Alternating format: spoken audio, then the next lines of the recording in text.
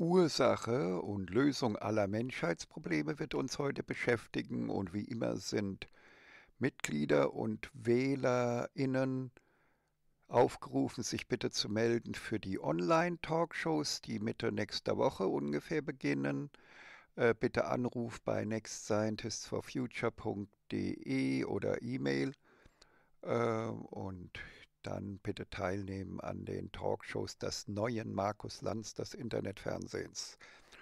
Ja, zur Ursache und äh, Lösung aller Menschheitsprobleme. Also das Tier erfindet. Das Tier erfindet? Ja, für Naturwissenschaftler ist das Tier Mensch nur eines von unzähligen vielen Tieren mit einem etwas besonders großen Gehirn und das mag sein, dass deswegen die anderen Tiere äh, bestimmte Erfindungen nicht tätigen konnten. Glück für sie bisher. Ja. Das Tier erfindet vor 400.000 Jahren äh, den Tauschhandel und den Markt. Das universelle Prinzip Mutation und Selektion oder besser Variation und Selektion, das Darwin und Wallace entdeckt haben, die wichtigste wissenschaftliche Entdeckung seit Newtons äh, Gravitationsgesetz. Ähm, die Mutation und Selektion erzeugen alle möglichen Ideen, alle möglichen Meme oder ja, Gedanken, Kognition, nennen Sie es, wie Sie wollen. Und darin befinden sich auch Irrtümer in diesen Ideen. Ja, das heißt also hier Mutation und Selektion, Mutation, Variationsbildung erzeugt nicht nur im genetischen Bereich eine große Vielfalt. Es ist nicht so, dass alle genetischen Dinge äh, sozusagen, die möglich sind, auch tatsächlich stattfinden, aber ganz viele. Und genauso ist es mit den Ideen. Es werden sicherlich nicht alle Ideen durch Variationsbildung in Köpfen von Menschen erzeugt äh, oder von Tieren auch erzeugt, sondern nur sehr viele. Ja, aber dieses sehr viele reicht eben aus und darunter befinden sich Irrtümer. Und nach der Erfindung von Tauschhandel und Markt erweisen sich Irrtümer plötzlich als vorteilhaft, weil sie andere Menschen beeinflussen und sie in Kundschaft vermehren. Ja? Vor, äh, also die Irrtümer, die vorteilbringend sind, vermehren sich, denn Sie ermöglichen größere Verkaufserfolge und dadurch kommt es zu hier mehr körperlichen Kindern und geistigen Fans und Nachfahren, die hier nach einigen Generationen dann zumindest explodieren. Und so breiten sich dann vorteilbringende Irrtümer aus in der Welt und durchseuchen die ganze Welt als parasitäre Meme als Killerviren des Geistes, fügen uns Menschen alle riesige Schäden zu. Und wir wird die ganze Menschheit wird umgewandelt in Käufer, in Kundschaft. Kundschaft für Konzerne, für, für, für Behörden, für Sozialsparten, für Polizisten, es werden regelrecht, es passieren lauter vorteilbringende Irrtümer, die Menschen zu Kriminellen machen, sie, in Krimi äh, sie dazu motivieren, Kriminelle zu bleiben und so weiter. Und schon hat die Polizei, die Staatsanwaltschaft, die Rechtsanwälte, die Gerichte haben Kundschaft. Und so ist es mit jeder Institution, mit jeder, jedem Wirtschaftskonzern. Es geht immer darum, die Welt umzuwandeln, die Menschheit umzuwandeln in Kundschaft. Ja, in einsame, konsumsüchtige, waffenkonsumierende äh, Singles, ja, immer mehr Kundschaft. Und diese Kleinigkeit, VIs, also vorteilbringende Irrtümer, aussterben lassen durch PAs, also vorteilbringende Irrtümer aussterben lassen durch positive Anreize. Das unterscheidet die Welt, das ist wie so ein Vexierbild, das unterscheidet die Welt, ist sie Himmel oder ist sie Hölle? Denn wenn ich positive Anreize setze, sterben die vorteilbringenden Irrtümer aus, die Wahrheiten rücken an, die an diese Stelle hier, erweisen sich dann unter der Bedingung der positiven Anreize als vorteilbringende Wahrheiten. Und äh, alles andere, also die vorteilbringenden Irrtümer sterben aus, kommen in die Aussterbensposition und die dann vorteilbringenden Wahrheiten breiten sich blitzschnell massenhaft aus mit Hilfe der Next Scientists for Future und die Welt verwandelt sich von Hölle zu Himmel. So einfach ist das. Scheinbar. Man braucht dafür über 50 Jahre Wissenschaftsroutine, um diese positiven Anreize richtig zu setzen. Das ist also ein äh, Wissenschaftshandwerk im Bereich Staatsmanagement und Reformendesign. Ja? Und hier unten rechts, bitte habe ich wieder vergessen zu sagen, bitte an dem runden Ding schneller drehen äh, YouTube-Videos immer 1,5 oder 1,75 schnell drehen, besonders weil ich ja so langsam rede. Ja, das ist genau das, worum es geht. Ja, also. Dann schauen wir mal weiter, was wir noch haben. Mm, mm, mm, Supermärkte. Wie bringen wir die Supermärkte, wie bringen wir also, wie, wenn wir die Sozialspartler denen positive Anreize setzen wollen, ja, dann müssen wir ja fünf große Gruppen an vorteilbringenden Irrtümern korrigieren, habe ich alles schon ganz oft geschildert. Und ein Aspekt davon ist, die Sozialspartler arbeiten ja sehr viel auch mit Verwöhnung, sodass äh, wir sozusagen, es gibt äh, zwei oder es gibt insgesamt ja fünf Mechanismen, mit denen Menschen in Dauerarbeitslosigkeit festgehalten werden. Das ist einmal vorteilbringende Irrtümer, die die Behörden dahin steuern, nicht zu helfen, also zu wenig zu helfen. Dann äh, sind da vorteilbringende Irrtümer, die uns als Gesellschaft glauben lassen, Mindestlöhne, Gewerkschaften und Tarife, äh, Tariflöhne seien soziale linke Errungenschaften. In Wirklichkeit handelt es sich um Möglichkeiten, Massen von Dauerarbeitslosen zu erzeugen und damit Dauerkundschaft für Sozialspartler zu erzeugen, einschließlich der Arbeitsamtmitarbeiter. Und äh,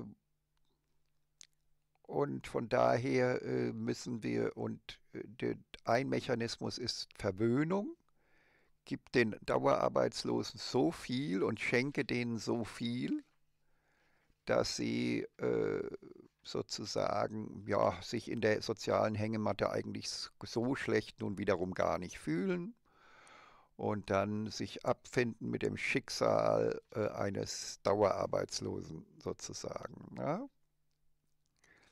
Und die Verwöhnung reduzieren bedeutet eben auch, dass es eben nicht mehr wie bisher Kleidung in Massen geschenkt gibt. Äh, wir müssen das verbieten. Wir müssen alle diese, diese, diese Verwöhnungsaspekte äh, müssen gestoppt werden und dazu gehört auch das Stoppen der Tafeln und das Stoppen, also denn sie können heutzutage äh, sozusagen völlig kostenlos von Tafeln leben Sie werden dort überschüttet mit Lebensmitteln, sodass Sie gar nichts mehr kaufen müssen, sondern alles von der Tafel beziehen können. Schluck Wasser.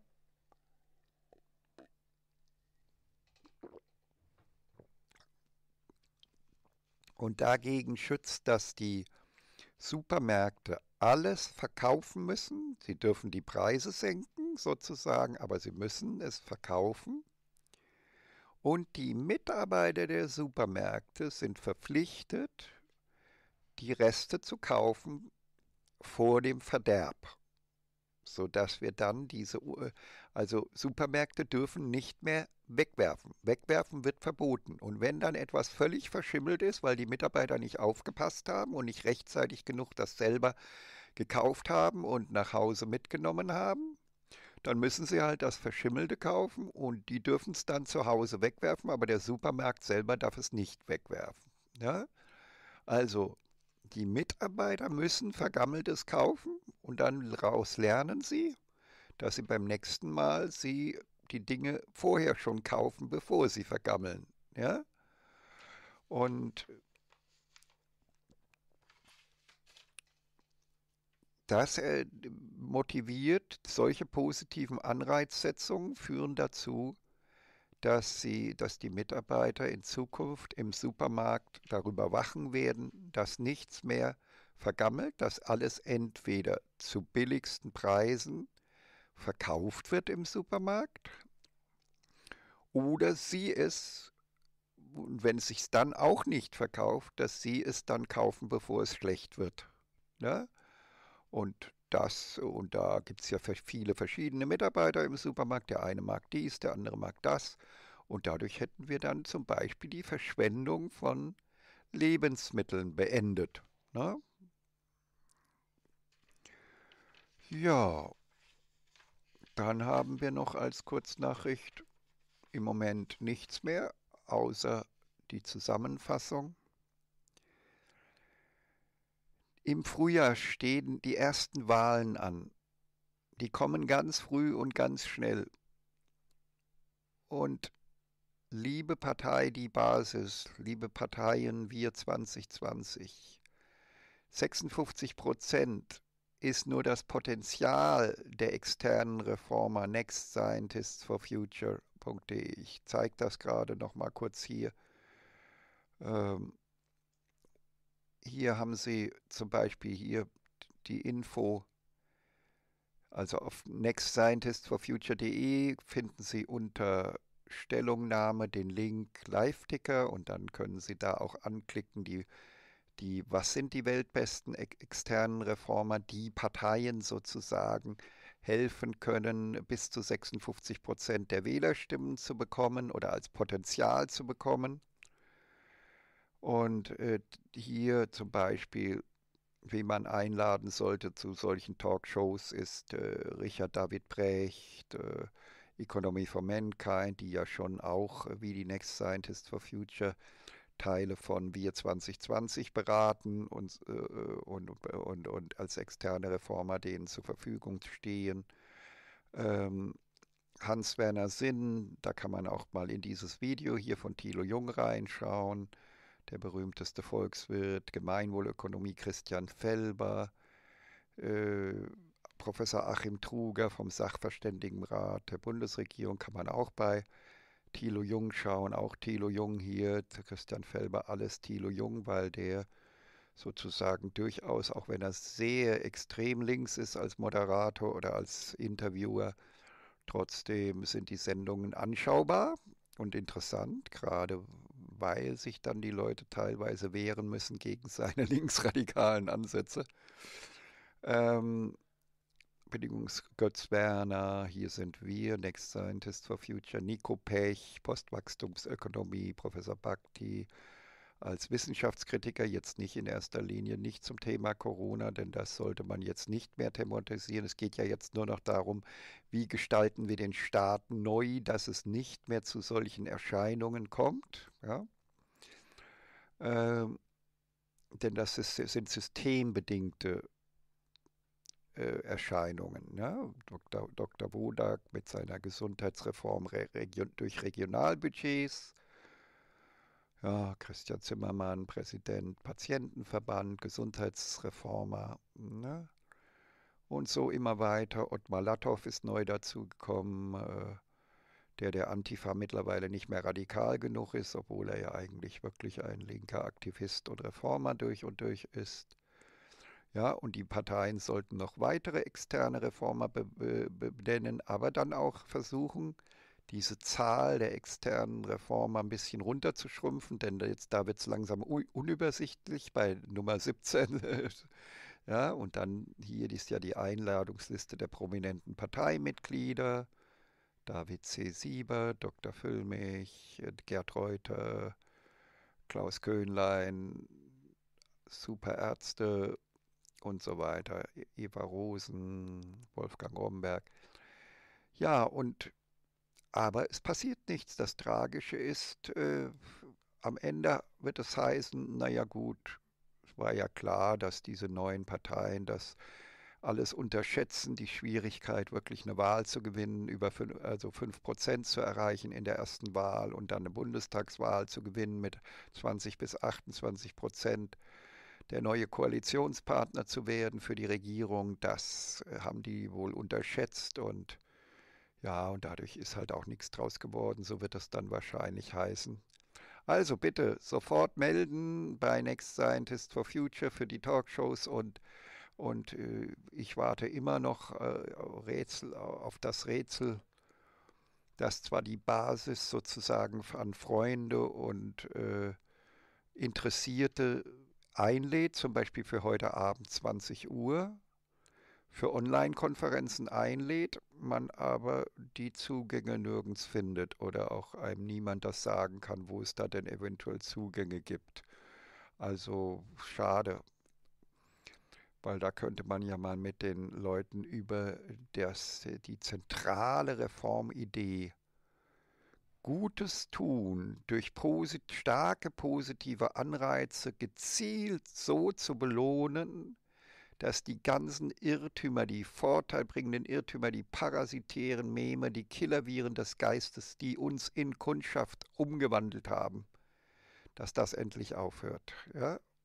Und im Moment sind ja auch die Menschen nichts anderes als Kundschaft.